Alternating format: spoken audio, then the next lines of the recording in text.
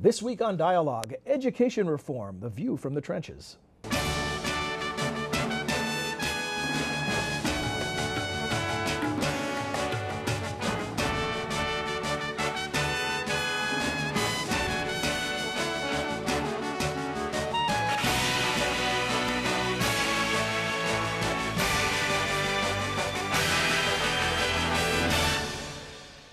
Welcome to the Woodrow Wilson International Center for Scholars in Washington, D.C. I'm John Milewski. Each week, Dialogue explores the world of ideas and issues in international affairs, history, and culture. Now let's meet our guests.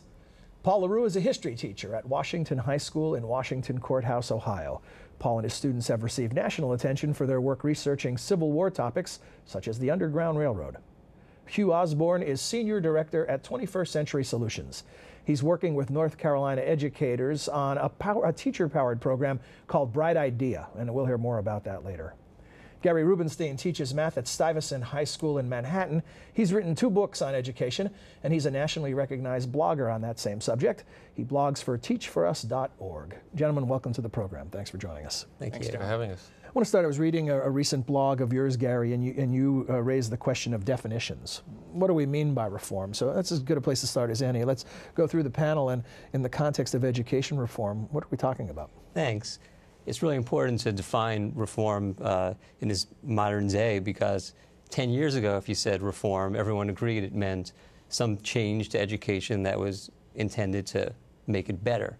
And 10 years ago, you could have different groups of reformers and they could disagree about what reforms they support, but they would recognize the other groups as still not satisfied with what's going on and wanting reform. About five or six years ago, a group of reformers sort of rose up and they basically dubbed themselves the reformers. And they support an agenda uh, which is known sometimes as uh, corporate reform movement based on schools competing with one another, schools getting shut down for not doing as well as other schools, uh, teachers being evaluated on their standardized test scores, multiple choice, and maybe getting fired based on those. So they've defined themselves as the reformers, and everyone else is now an anti-reformer. And uh, it implies that the anti-reformers don't want any reform, but actually they, they do want reform. This is very, uh, it's a big problem because uh, when politicians have to make a decision and they think there's two choices, you can either be a reformer or anti-reformer. Of course, you're going to pick uh, to be an anti-reformer. The anti-reformers are uh, include all these professors of education who spend their lives thinking about what reforms work, and the reformers. Uh, many of them just have uh, been successful in business mm-hmm. and have mm-hmm. no education experience. With us or against us. So, you know, that's reform is a politically charged word in this town. It's attached to all kinds of things tax reform, Social Security reform, entitlement reform. Uh, does, it, does it bring a baggage to the discussion on education that's counterproductive?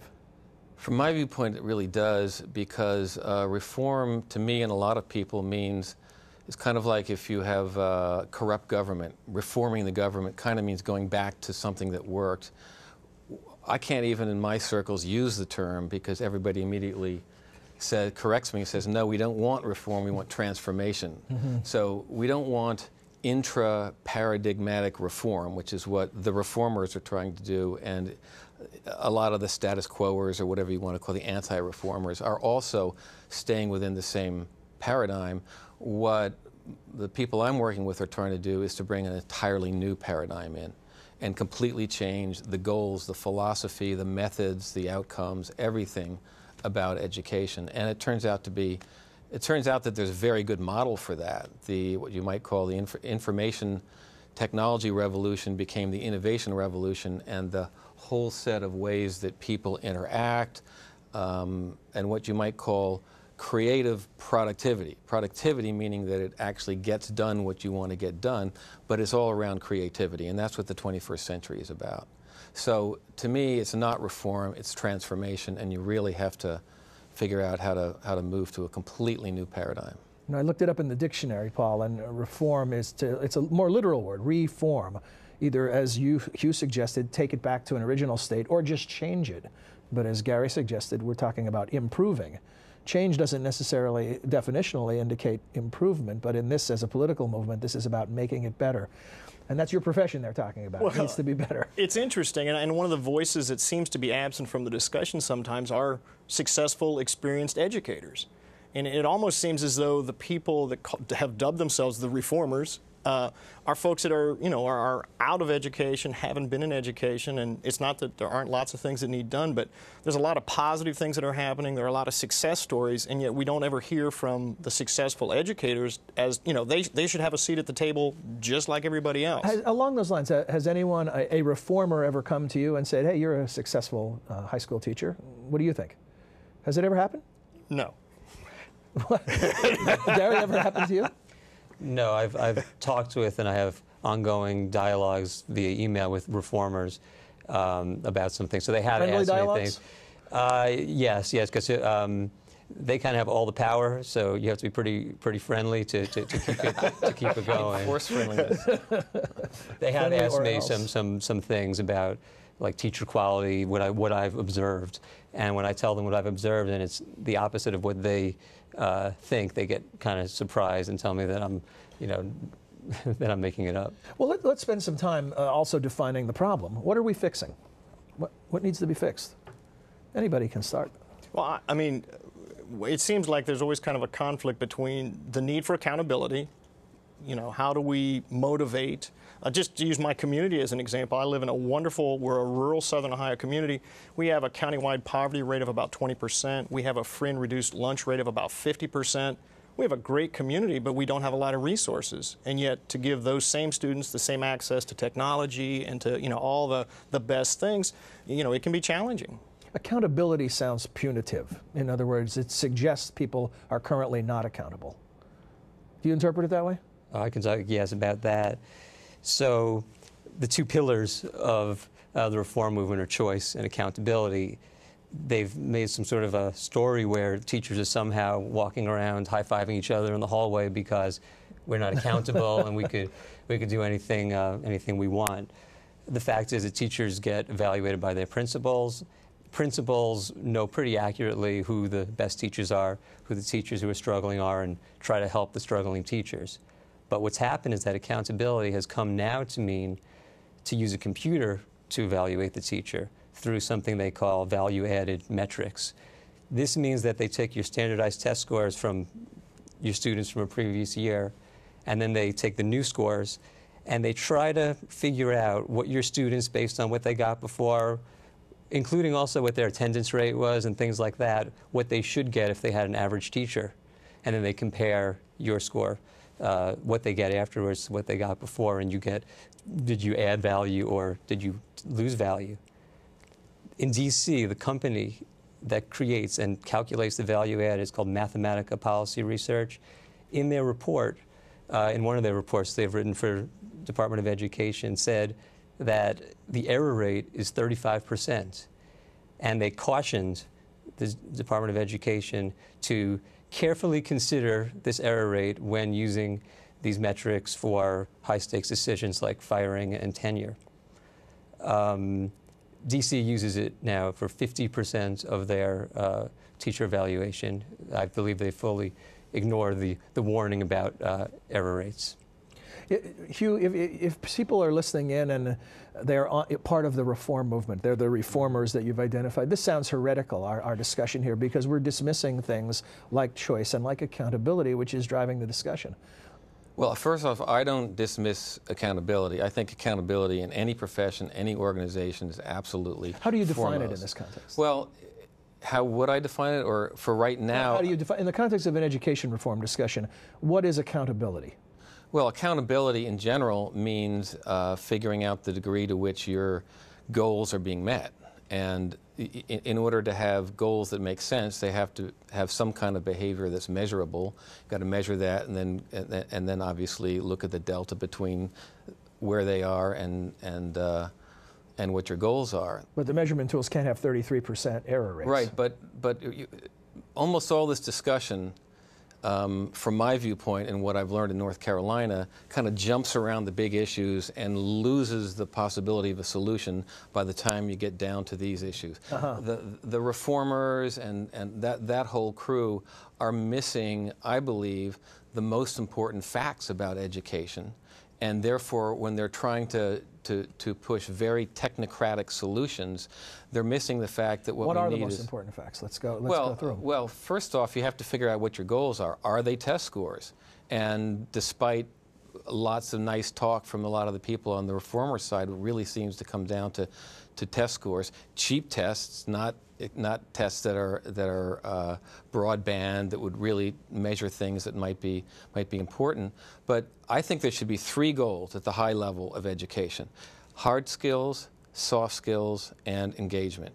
And hard skills, these are business terms, but I think they really apply. Hard skills you can measure, let's say for now, with, with standardized tests. They're not very good tests, and in the future they'll be much better.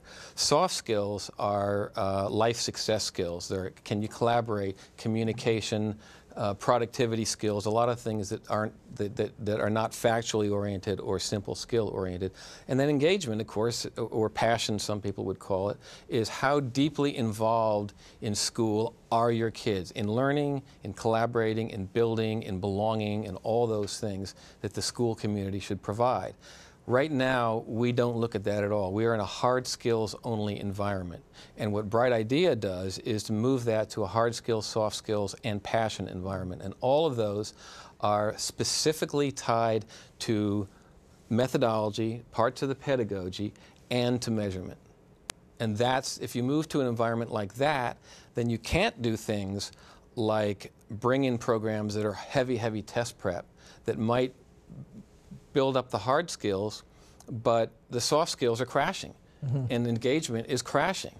And that's what's happening, in our, and that's why we're chasing our tail so much in education, I believe. And my guess is these guys agree with me on that. Because Saw some nodding, but we should find out. Uh, agree, disagree with what you just yeah, described? I, I, think you, and one of the things, uh, one of the, I think is a great term is the term engagement. Uh, I mean, as a, you know, I've been in a classroom, this is my 27th year, and I mean, that's the, you know, a lot of the materials and things will come and go, but a, a student who becomes a lifelong learner, getting them engaged in a process, I mean, that's, that's such a valuable, and that's, that's a skill or, a, you know, something that a student will have their entire life. The, this uh, uh, one more question about testing. I don't want to get too bogged down in it, but since it is such an important part of the discussion, what is testing currently measuring? I mean, you, you just mentioned that before we went on the air that Ohio has now instituted merit pay based on test scores, and uh, what is it One actually? One of the worst ideas ever, by the way. Well, that's what I want to find well, out. What is it measuring? Is it measuring is, how a teacher, how well a teacher teaches? Is it measuring what a student learns? Is it measuring the ability to teach to a test and then regurgitate? What, what are we actually finding out through that measurement? Ohio, since the early '90s, has done some kind of a standard, and they've changed forms several different times, but it's it's always a content-driven, you know, uh, facts and figures. Uh, facts and figures. So there was writing in Ohio. Traditionally, there was uh, math, reading, social studies, science uh, were the key components, and then there were, you know, you had and you had to pass the test to graduate. Now they're changing that around, and this becomes now part of the the merit pay program is just coming down the road, but they they want to tie the scores, you know, to the schools, and it's. I mean, it's not wrong to have material that we agree on, you know, and that sort of thing. But it, it gets, you know, again, I, I, come from a rural school district where we have to work very hard. You know, we're, we're certainly not in the same place as a uh, maybe a wealthier suburban district in terms of those things. But the tests are the same for everybody, yeah. obviously. I can uh, speak from the point of view of a math teacher now. Math is has become, but it's also become half of how well a school is doing. They basically look at the math and the reading score. A multiple choice math question uh, you can teach to that test. You can teach kids to eliminate two choices, eliminate one choice, and then and then guess. And um, as someone who also helps students with like the SAT, there are some strategies, some test prep strategies where you can even narrow yourself down to one or two choices out of five without looking at the question. Literally, by looking at the five answer choices, learning some of the psychology of the test maker, you can you can game the test. And schools do, and they game the test in different ways. They, they can teach you the test. Some schools will actually cheat. Um, and um, those are the main ways of, uh, I guess the, the, worst of all, though, is the teaching to the test. That's the biggest cheat of all, because you're cheating the students out of learning, out of real learning. Right, right. Let me, we've spent a lot of time defining problems and bounced around a bit. Let's now focus on what you think works what are some solutions? And Hugh, let's begin with a little more about Bright Idea. How does this program work, and why do you think this is a solution to a problem? Well, the, the central notion of Bright Idea, um, which has been around for about 11 years and was created by Duke University in the state of North Carolina, and I had nothing to do with creating it. I'm, I've been a, an observer and a, a, pro bono consultant to it, so I don't want to take any credit for it. But uh, when I first heard about it, I said, aha, this is what the country is looking for. At least I thought it was. This is what the country should be looking for. And the reason for that is that um, the top 5% of teachers, which I'm sure both of these folks are very much in that, in that, uh, that um, um, group, the, other than that, teaching itself is not a creative profession in the sense that teachers bring their own creativity to it, but the way that they're taught, as I've observed anyhow, and the way that they're managed in schools with textbooks, pacing guides, scripts, etc., it's very much a profession that is right now over-engineered for people who can't necessarily do, do the work and, and, and uh, meet their end goals the way that they're trained. They could be trained to be very effective. And if you, if you make the process a creative process where they're responsible for creating broad-based, multi-spectrum educational experiences for their kids, like I said, not only hard skills, but soft skills and, uh, and passion as well, then the whole culture of the school changes the outcomes change, the attitudes of the teachers change, the job satisfaction of the teachers change, everything essentially changes. It's hard to do. It's a two to three year retraining of teachers, but getting that creative, making it a creative profession versus kind of a programmed trade is really what. Uh, the, the what sounds is. a lot different about it to me is it's not deciding that teachers are the problem and let's get rid of the bad ones. It's saying we just need to work differently with this group saying of people. Teaching the solution's is already the problem. There. Let's fix teaching. Teaching, not teachers. Uh, Paul, uh, I, I got to know you over the years through your extracurricular work. Is that the answer to being a great teacher? Do you have to take it outside the classroom and well, do things beyond the curriculum? Most of our work actually is done during my, you know, during the school day. One of the things that's been really successful for us is we've created some strong strategic partnerships. Um, Time Warner Cable with their STEM, Connect a Million Minds, the History Channel, and, and what it's done is it's provided us some resources. Uh, last year, uh, my students were able to use ground penetrating radar in a local cemetery looking for a cast iron coffin of a Civil War veteran. Fantastic, creative. Now, how, how difficult is that to do? You know, I mean, you've made it look easy in all these years in the classroom, but uh, I don't think there are a lot of schools and individual teachers using ground penetrating radar.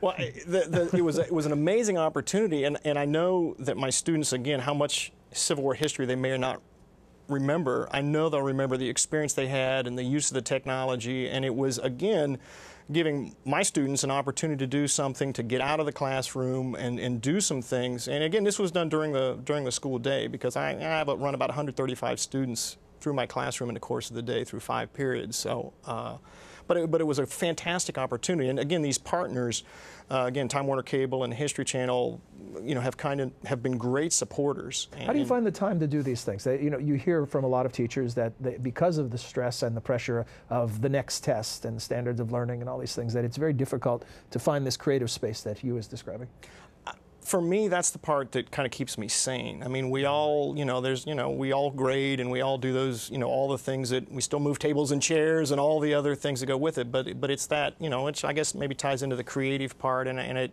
it, it means the most to me, and I think it probably means the most to my students. Mm-hmm.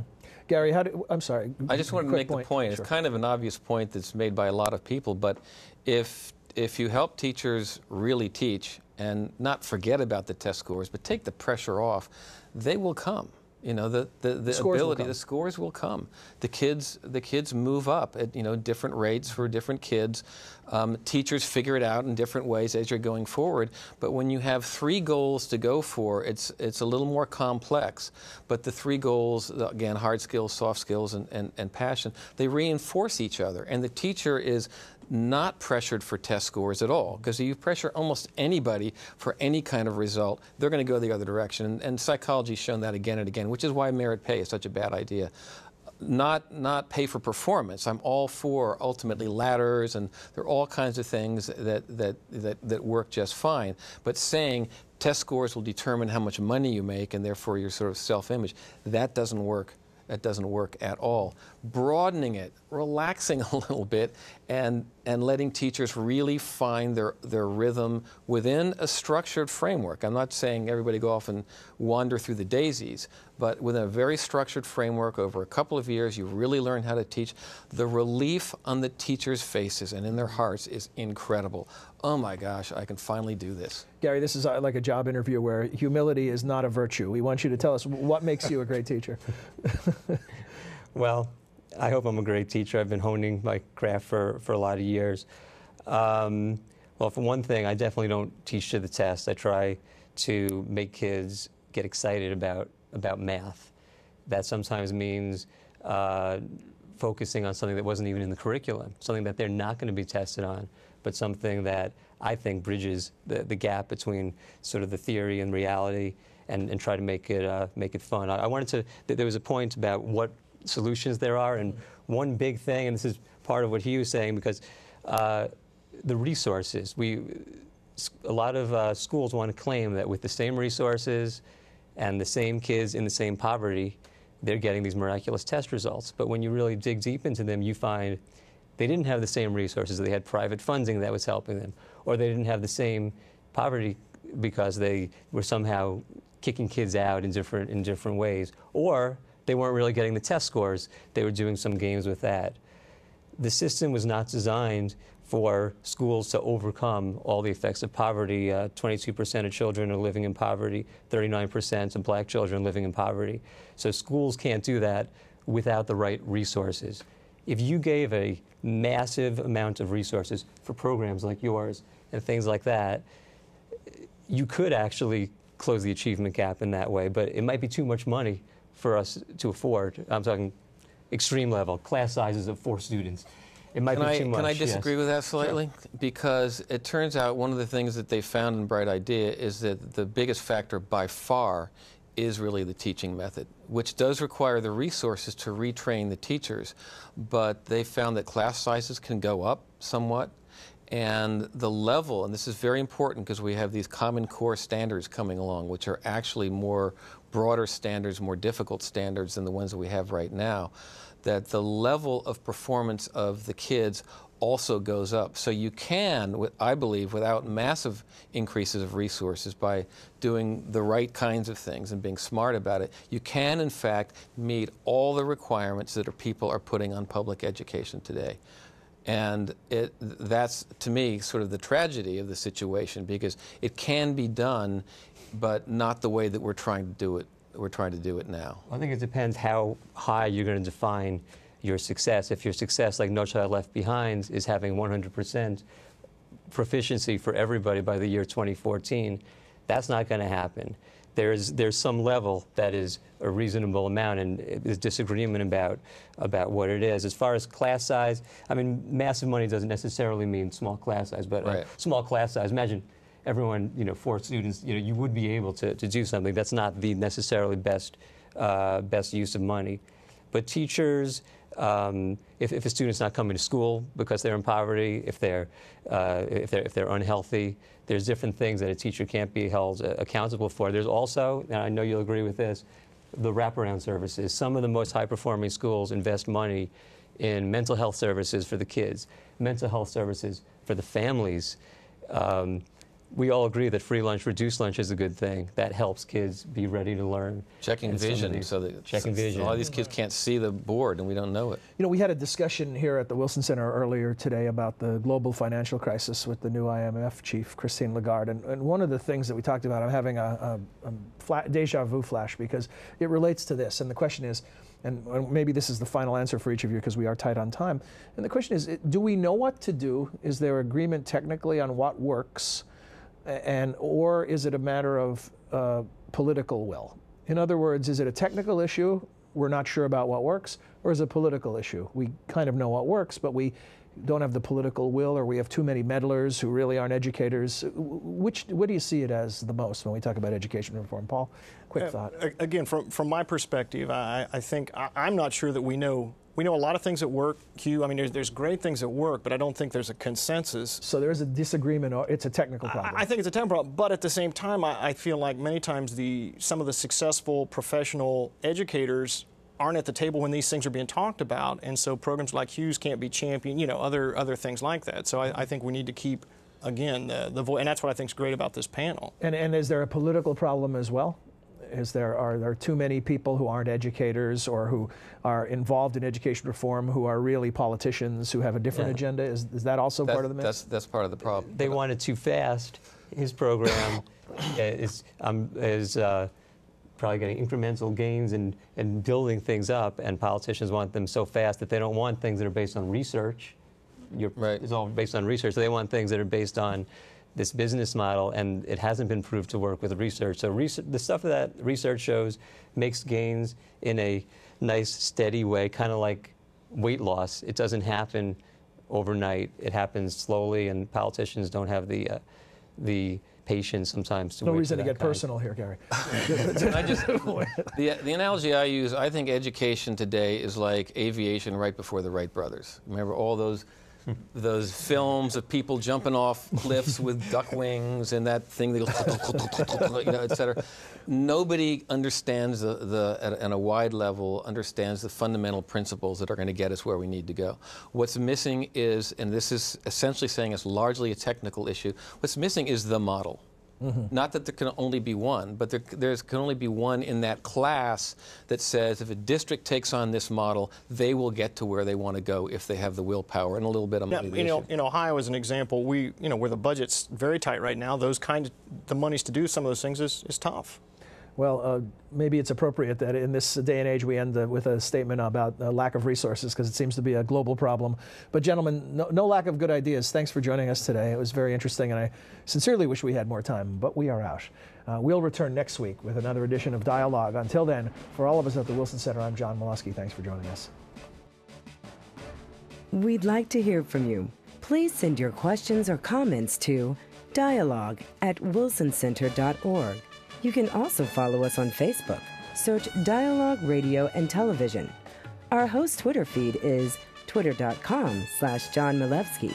Dialogue is a co-production of the Woodrow Wilson International Center for Scholars and MHZ Networks. Dialogue is available via broadcast, cable, satellite, and telco on MHZ Worldview throughout the United States. To see how to watch where you live, visit www.mhznetworks.org.